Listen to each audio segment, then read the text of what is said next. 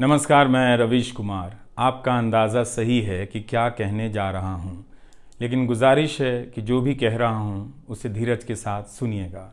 बेटी विदा होती है तो वह दूर तक पीछे मुड़कर मायके को देखती रहती है। मैं इसी स्थिति में हूँ। अभी मुड़कर देख लेने दीजिए, फिर कभी विस्तार से एनडीटीवी की बात करूँगा। आज की शाम एक ऐसी शाम है, जहाँ चिड़िया को उसका घोंसला नज़र नहीं आ रहा। क्योंकि कोई और उसका घोंसला ले गया है। मगर उसके सामने थक जाने तक एक खुला आसमान ज़रूर नज़र आ रहा है। इस बात की सहानुभूति मुझसे ना रखें कि मैं चिट्ठी छांटता था। मैं उनकी तरह नहीं हूँ कि अचानक चाय बेचने की बात करने लग गया। उतर रहा हूँ जहाज़ से। बात कर रहा हूँ चाय बेचने की।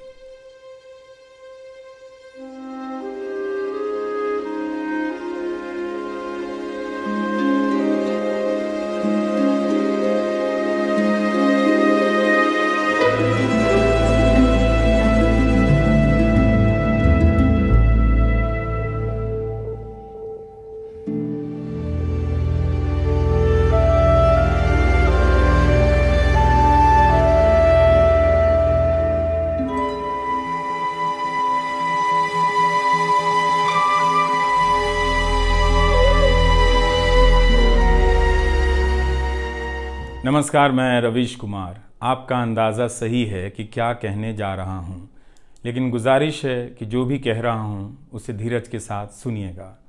भारत की पत्रकारिता में स्वर्ण युग तो कभी था भी नहीं, लेकिन आज के दौर की तरह भस्म युग भी नहीं था। भस्म युग से मेरा मतलब है, जहाँ इस पेशे की हर अच्छी बात तेज़ गति से भस्म की जा रही हो। यह दिन भी आना ही था। इस देश में अलग अलग नाम वाले अनेक चैनल हो गए हैं, मगर सब हैं तो गोदी मीडिया ही। उसका परिवेश, उसका इकोसिस्टम, पत्रकारिता का और माहौल सब खत्म कर दिया गया है, मगर पत्रकारिता करने और कराने का दावा भी सब कर रहे हैं। खासकर वो भी कर रहे हैं, जो उसी सत्ता का हिस्सा माने जाते हैं, उसी के रूप में देखे जाते हैं, जिसकी ताकत से हर दिन पत्रकारिता इस देश में कुचली जा रही है। जब वो कहे कि वह उच्च स्तरीय पत्रकारिता करना चाहता है, तब ऐसा दावा करने वालों को ज़रा संदेह की निगाह से देखिए। गोदी मीडिया और सरकार भी पत्रकारिता का अपना मतलब आपके ऊपर थोपना चाहती है। अगर इसका मतलब किसी भी रूप में वही है, तब आप एक बार फिर से झांसे में आने वाले हैं। बेटी विदा होती है। तो वह दूर तक पीछे मुड़कर मायके को देखती रहती है। मैं इसी स्थिति में हूँ। अभी मुड़कर देख लेने दीजिए। फिर कभी विस्तार से एनडीटीवी की बात करूँगा। लोगों के बारे में और एनडीटीवी के बारे में, डॉक्टर रॉय, राधिका रॉय के बारे में भी। मैं कई लोगों की प्रतिक्रियाएँ पढ़ रहा था। बहुत सी बातें तो मुझे आज ही पता चली। हैरानी हुई कि हर किसी के पास एनडीटीवी का एक अलग ही किस्सा है।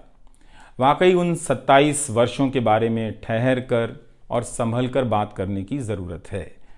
एनडीटीवी ने एक चीज़ सिखाई कि टीवी में और टीवी का एक ही मतलब होता है टीम एंकरों के स्टार बनाए जाने के बाद यह धारणा टूट गई, मगर आज भी टीवी के बुनियाद में यही है कि जितनी अच्छी टीम होगी, उतना अच्छा काम होगा। अभी इस बात को यहीं रहने देता हूँ, कभी किसी और वक्त के लिए। तब जब आप भावुक ना हों, तब जब मैं भावुक ना हूँ कि एनडीटीवी छूट रहा है। आज की शाम एक ऐसी शाम है, जहाँ चिड़िया को उसका घोंसला नज़र नहीं आ रहा, क्योंकि कोई और उसका घोंसला ले गया है। मगर उसके सामने थक जाने तक एक खुला आसमान ज़रूर नज़र आ रहा है। तो खैर, उसके बाद अनुवाद, अनुवादक बना और कई पत्रकारों की रिपोर्ट का अंग्रेज़ी से हिंदी में अनुवाद करता रहा। इसके बाद मैं रिपोर्टर बन गया। और फिर मेरी दैनिक रिपोर्ट की अलग यात्रा शुरू होती है। रवीश की रिपोर्ट से काफ़ी कुछ सीखने को मिला। तो इस तरह से ये एनडीटीवी में ही संभव हुआ कि एक चिट्ठी छांटने वाला, इसके एक चैनल का ग्रुप एडिटर, समूह संपादक बनता है और आज उसे छोड़ रहा है, इस्तीफा दे रहा है। बहुत बड़ी बड़ी शक्तियाँ पीछे खड़ी हैं इस एक पत्रकार के पीछे। तो स्वाभाविक है कि ये नौबत आनी थी, इसका अंदाज़ा मुझे पहले भी था, लेकिन जिस दिन आता है, उस दिन अच्छा तो नहीं लगता है, लेकिन मैं आपसे यह भी कहना चाहता हूँ कि जब भी मेरे बारे में मूल्यांकन करें, इस बात की सहानुभूति मुझसे ना रखें कि मैं चिट्ठी छांटता था। मैं उनकी तरह नहीं हूँ कि अचानक चाय बेचने की बात करने लग गया, उतर रहा हूँ जहाज़ से, बात कर रहा हूँ चाय बेचने की। सहानुभूति के लिए या फिर अपने संघर्ष को महान बताने के लिए मैं ऐसा नहीं करना चाहता। इस देश में हर किसी का संघर्ष ही पहाड़ चढ़ने के जैसा है। आप एम्स के बाहर मरीज़ जो खड़े हैं, उनके परिजन जो खड़े हैं, उनसे मिल लीजिए। आपको पता चल जाएगा कि उनकी चुनौतियाँ कितनी बड़ी हैं और आपका दुख कितना कम है, छोटा है। लेकिन आज के दिन मैं आप सभी के बीच दर्शकों की बात करना चाहता हूँ। इस दौर में कुर्सी पर बैठे किरदारों को टूटते हुए देखा, सबने देखा। संस्थाओं को भस्म होते देखा, आपने देखा, नफरती तूफ़ान में लोगों को भटकते देखा, मगर मैंने इसी दौर में एक नई संस्था भी बनते देखी है। वह संस्था है जनता की संस्था, दर्शकों की संस्था। दर्शक ही अपने आप में इंस्टीट्यूशन बन जाते हैं।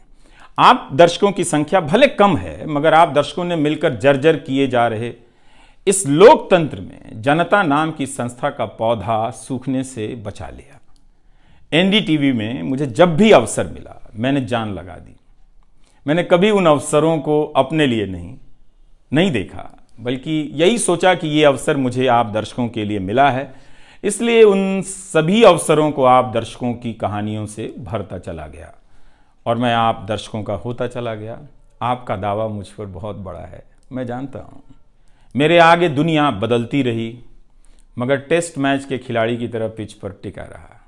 पर अब किसी ने मैच ही ख़त्म कर दिया है, उसे टी ट्वेंटी में बदल दिया है। जनता को चवन्नी समझने वाले जगत सेठ हर देश में हैं, इस देश में भी हैं। अगर वो दावा करें कि आप तक सही सूचनाएँ पहुंचाना चाहते हैं तो इसका मतलब है कि डॉलर अपनी जेब में रखकर आपकी जेब में चवन्नी डालना चाहते हैं। पत्रकार एक खबर लिख दे तो जगत सेठ मुकदमा कर देते हैं और फिर सत्संग में आकर प्रवचन भी देते हैं कि वे पत्रकारिता का भला चाहते हैं। कानून की आड़ में अब अधिकार कुचले जा रहे हैं। अभिव्यक्तियों को रौंदा जा रहा है ताकि सारे अवैध काम वैध नज़र आए। इस समय मेरे रास्ते निश्चित नहीं हैं। निश्चित हैं तो सिर्फ़ हौसला है। उसका भी क्या भरोसा? कभी आसमान में होता है कभी पाताल में।